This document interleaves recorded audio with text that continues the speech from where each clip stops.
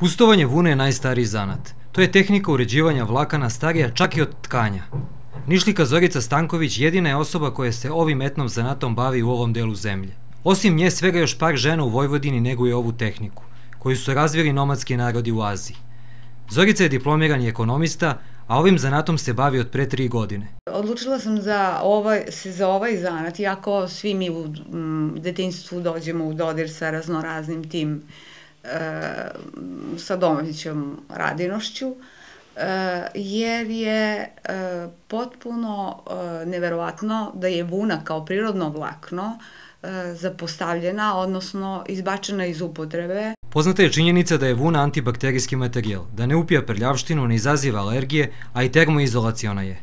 Osim za izradu odeće ima još dosta namena. Ima puno namena, ja sam se prosto kad sam ušla duže u celu priču e, oduševila koliko mogućnosti u stvari ja imam da od vune možete da proizvedete i abažur za lampu i m, torbu i e, ovaj, vrećicu za flaše i ogrlicu i aplikaciju na odeći koja će biti sasvim jedinstvena.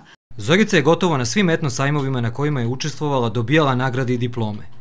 Namerao je da znanje o ovom najstarijem zanatu kroz radionice prenese na mlađe narašte, kao i da svoju veštinu prezentuje u inostranstvu.